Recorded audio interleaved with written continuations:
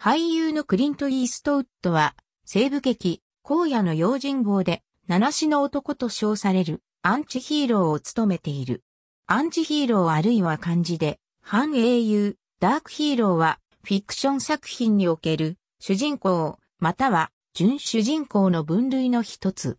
常識的なヒーロー像である、優れた人格を持ち、社会が求める問題の解決にあたるという部分から、大きく逸脱していることが多い。典型的なヒーローの方とは異なるが、ヒーローとして扱われる。アンチヒーローは物語の主要人物だが、理想が高く、勇気があり、道徳的であるようなヒーロー的な性質を持たないものを言う。ブリタニカ百科事典では以下をアンチヒーローの例に挙げて説明している。ライトノベル作法研究所の著作、キャラクター設計教室、人物が動けば、ストーリーが動き出す。では、アルセーヌ・ルパンをアンチヒーローの有名な例として挙げている。また、アンチヒーローの大まかな区分として、以下の9つ、及びこれらの複合に当てはまると述べている。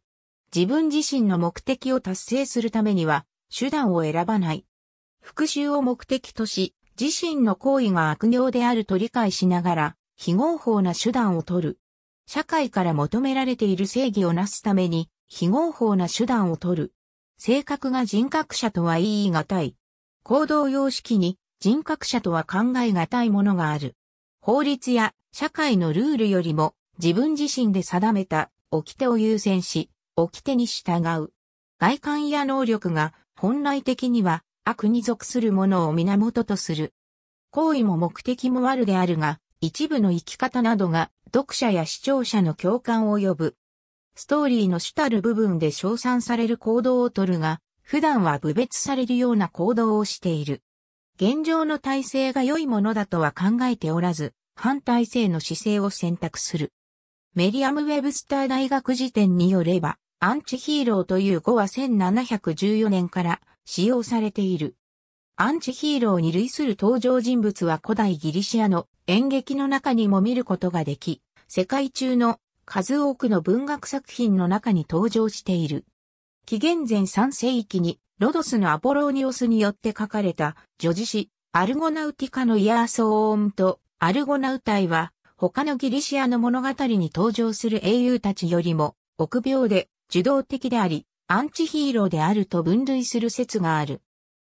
ローマの風刺、ドンキホーテなどのルネサンス文学、そしてピカレスク小説にもアンチヒーローが見られる。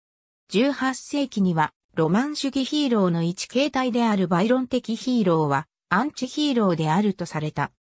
19世紀のロマン主義文学では主人公や主要人物が善悪の両面とも持ち合わせるなど新しいアンチヒーロー像が多く登場する。ヒョードル・ドストエフスキーの地下室の手記では、アンチヒーローを社会批判として用いる手法が確立されている。アメリカ文学では、ハックルベリー・フィンの冒険が最初のアンチヒーローであるとされる。20世紀の実存主義文学では、アンニュイで不安や苦悩、疎外感に悩ま例えば、フランツ・カフカの変身、ジャンポール・サルトルの王とアルベール・カミューの違法人など。1950年代には、ジャック・ケルアックやノーマン・メーラーなどのビートジェネレーション作家やフィルムノワールなどでもアンチヒーローが重要な役割を果たすことが多い。ありがとうございます。